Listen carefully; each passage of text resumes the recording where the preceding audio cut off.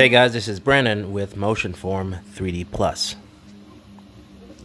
So a lot of people are asking what is the best 3D printer and where the best place to go to find a printer except for Google. However, when you look at Google, there's a thing that you need to really be thinking about, um, of course. Um, right now I'm looking at several different varieties and a bunch of price ranges. However, the thing that people really should be looking at is the type of printers print that they'll be making.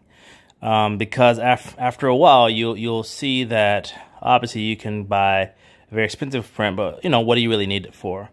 So with me, I went ahead and went with Prusa, and I'm not getting paid or anything for this, but I'll tell you why I went with Prusa. Um, I have I have this MKS3. I'll just click on that. You'll see that um, Prusa is top of the search engine, not just because of its, um, you know, like maybe their SEO, but also because of their um, just quality of things that you can make with it, their brand reputation. They're making, you know, a lot of things available for people uh, that use it. And so, um, even if you know, you just go to the website, oh, you know, what what, what is this? You know, I will definitely um, click on there. Uh, I'll definitely note that there's a time that it takes to get to your location. It takes about actually, it took me almost like a month to receive it. Uh, I got it put together because I had placed or printed, you know, pretty much, pretty much put together my own printer once, and there was an issue with it. I had to get a replacement, and you know, after building something uh, yourself, it's like, why am I going to all this extra effort. So you actually can build your own Prusa uh, and get a, you know, make it yourself kit for like $300 less. But the idea is if you can afford to have it built for you, it's fine.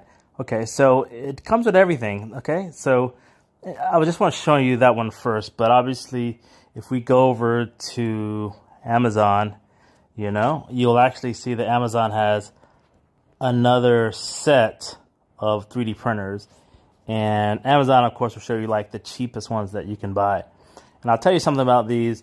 Make sure you're noticing when it says do DIY or do it yourself because that means there's things that could be wrong with the alignment or, you know, there's certain ways that it could be placed together wrong. So don't just get lured in. Also, uh, this is where you like, you really need to be learning.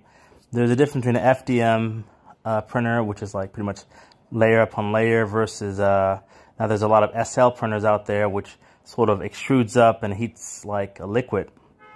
The idea is that you are going to consider, you know, what sort of print you want in the end because obviously uh, if it's layer by layer, you'll either have to get a support material if you're having like a more funky shape. Um, and the idea is if you shoot it up, maybe, you know, it costs a lot more. Like even Prusa, they have like a SL printer, and that's going to be costing more for a smaller size. That's that's important thing. Like look at these sizes. Don't don't ever buy a printer without knowing what is the scale for it. Even the one I bought that was cheaper, I had like a 30 by 30 centimeter bed. But the thing is like look at what the downside is. Like it, it broke a lot. I had a lot of issues with it. And now my Prusa, which almost gave me no issues, you know, it has like a 25 by 25, but it, you know, it does the work for me, right? And so also, if you see my Prusa versus the FlashForge, I don't have an enclosure. So that, that FlashForge is going to be a lot smaller, but it has an enclosure, which, you know, is nice because essentially you have to, you know, be mindful not to put your printer on our AC or have it exposed to temperature because that might affect how the print comes out. So there are certain you know things that you need to be concerned about. If you print with, um, you know, PL, PLA, it's like the most common print material. You see that the orange and black material. That's going to be, uh, you know, pretty much safe. But there's other materials that are harder that have like an odor and chemical odor that you would want an enclosure for. So that's another note for your printer. Um, okay, we're not really look at the super high expensive one. With the cheaper printer, also um, like smaller printer, maybe you just need to make a really small thing. Um, so, I mean, that's always an option just to quickly have something. listen, you're always going to have some level of maintenance that's needed on the printer. So don't think that because you pay a certain price or something or it's enclosed, you won't ever have to go inside. Uh, printers break sometime or there may be a piece that needs to be moved. So I think it's a good learning cost to be understanding how to put together and work on printer. So while the Prusa or printer like this might like do it yourself, even that little box for the FlashForge might need to have some work on it. Um, and also, you know, I, I'm not going to ignore the fact that there are 3D printing pens. And maybe if you just want to do like some more crafty stuff, that actually might serve your purpose. Um, essentially, like if you can afford, uh, so this is what it's called a prosumer range. You definitely want to get the top of the prosumer range because that's the 100 to 1,000 range or 100 to 1,200. MakerBot starts to go into a higher range, and that also might come with higher um, types of materials that can be printed with it. So when you get out of this range, there are other considerations. Uh, I really definitely would focus on people who are just really starting. Um, if you're really going to do that professionally, I just I think Prusa is a great like starter top for the prosumer. When you start doing to very much uh, like commercial printing, something like a MakerBot was something that I was recommending to my firm.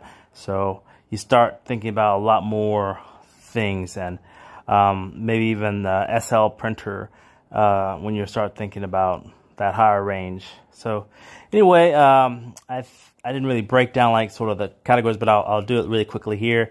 You want to think about uh, what type of prints it can be made, if you will be putting it together, the size that it can make, including the height, uh, those are some things that you will put into your considerations in addition to the maintenance required for like, you know, the do-it-yourself printer might require you to fix it a lot more. Those are things to consider when getting into 3D printer and choosing one. I would say make a list, make a table, and then find the one that, you know, checks the most of your boxes.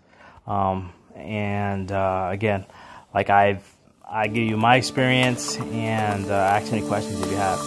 again, this is Brandon Motion Forum. See you next episode.